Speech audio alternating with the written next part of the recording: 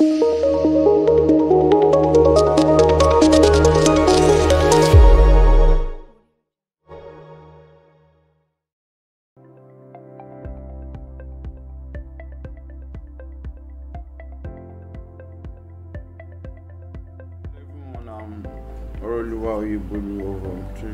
Bolu Online Services, and um, I'll be glad to take you through the weekly derivative analysis this time around. And um, I will start by highlighting the risk warning, which says um, trading leverage products such as forex and derivative may not be suitable for all investors as they carry a high degree of risk to your capital. Please ensure that you fully understand the risks involved, taking into account your investment objectives and level of experience, and if necessary, seek independent advice.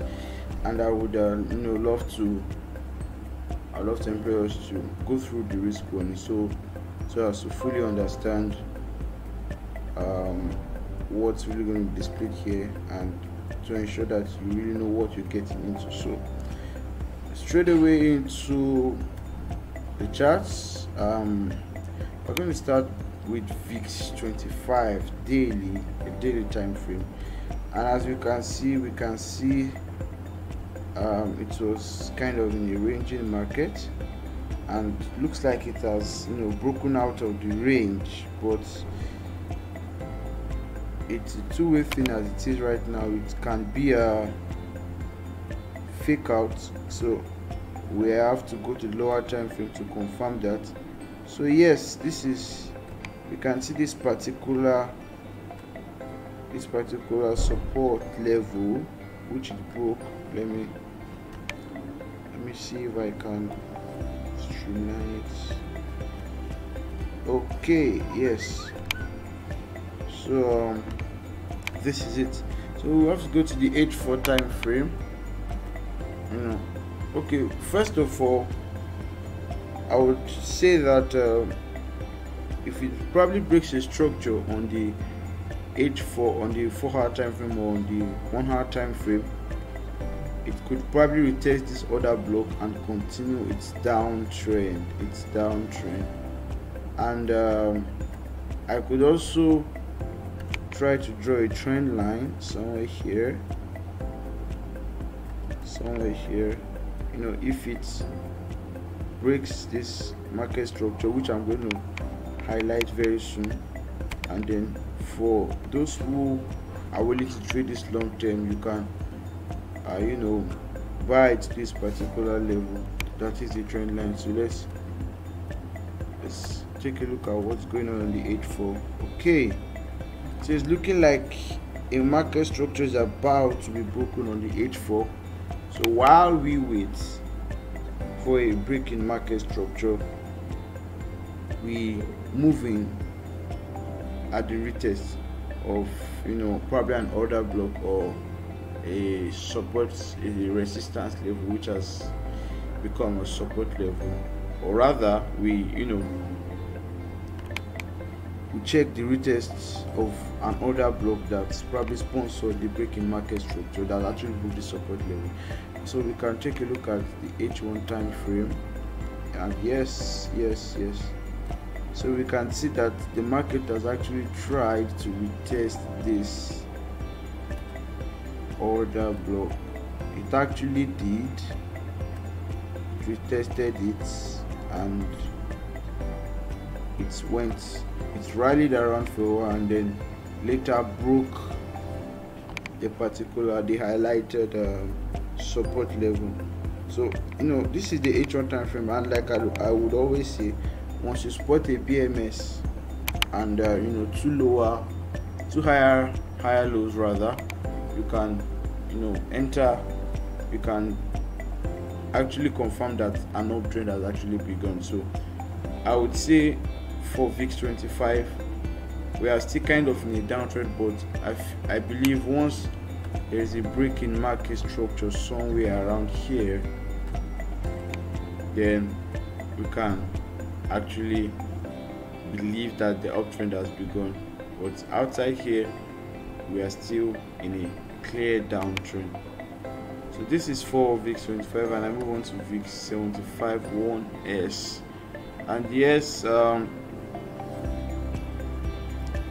this is the daily time frame for VIX 75 1S and we can see it's, it's in a clear downtrend and um, you know going to actually retest this particular order block that sponsored the breaking market structure. This this particular breaking market structure here. Sorry yes this particular market structure here. And um, I want to believe it's it's really going to reach somewhere around here. And then from here we wait for a breaking market structure also. Yes a breaking market structure somewhere around here somewhere in this area then from there we we take advantage of um, buying opportunities to you know pack in some profits. So let's take a look at what's going on the h4 like i stated earlier it's actually in a it's actually in a downtrend. So you know so let's let's take a look at it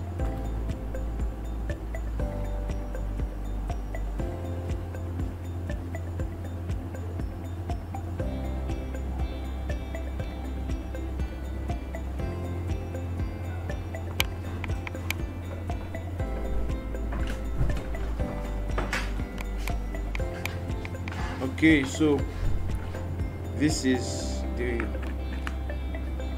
four hour time frame for VIX 75 1s and uh, we can see we can actually see another block it's responding to at the moment and this is it but you know I still want to believe we're still clearly in a downtrend except we spot a BMS either in this zone this highlighted zone or this highlighted zone.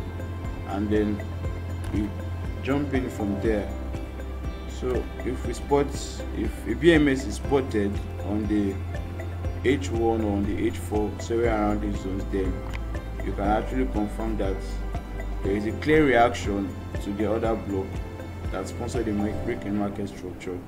And then you can you know jump in from there and taking your I mean bagging your profit at the last swing or for those who may not who may not be able to hold for long you can you know just can place your take profit somewhere around here here or here. Or I mean for those who may be who may be willing to you know take it for a long very long time somewhere around here also so yes that's that's for VIX 75 1S and I move on to VIX 50 I move on to VIX 50 this is the weekly time frame of VIX 50 and uh, it's very clear that we're in a strong downtrend. And this has been happening for you know for the past few weeks. I mean almost yeah more than a month now. And um, it's it's it's been a beautiful ride for those who have been able to take advantage of it I mean, I mean the long-term traders, yes. So this particular support level is is where I'm anticipating a break of market structure for and taking advantage of the retest and um, you know bagging my profit depending on how depending on how well you're able to hold the trade or how long rather you're able to hold the trade so this particular support level Tesla support level we hope for we look out for a breaking market structure preferably on the one hour time frame. Let's let's take a look at what's going on on the h4 like i said it's actually in a downtrend. It's actually in a downtrend. So you know um as clearly stated here i mean as clearly seen here rather this is this is this has been really massive. This has been really massive. So you want to be careful and you know uh, try try try to ensure that there's a clear BMS, preferably on the higher time frames, that is the H4, the H1, so that you don't get trapped um, buying a market that is actually in a very strong downtrend. So I think that's it for VIX 50.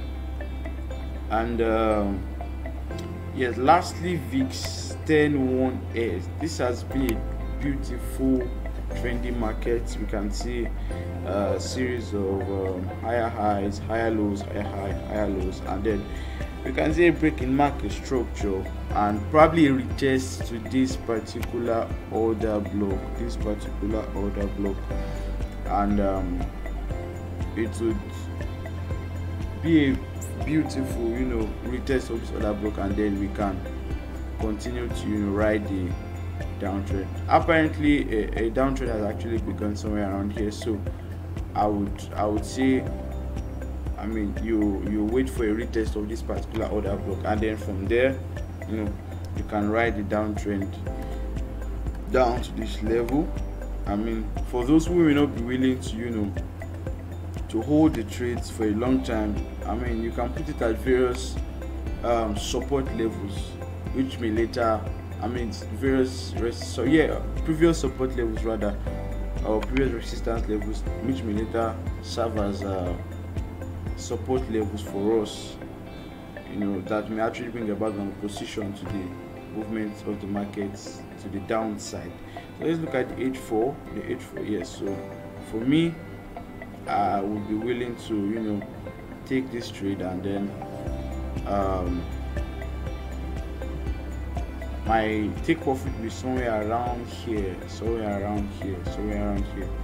So that's that, that that's that's gonna wrap it up for this week's analysis, this week's um, synthetic indices analysis, and um, I would like us to remember that we are to also trade this market with risk management and to ensure that you know we are not we are not being we are not we are not being taken advantage of by the synthetic indices markets clearing, clearing out our stop losses thereby using a large or huge amount of capital. So let's remember to apply proper risk management to every trade taking.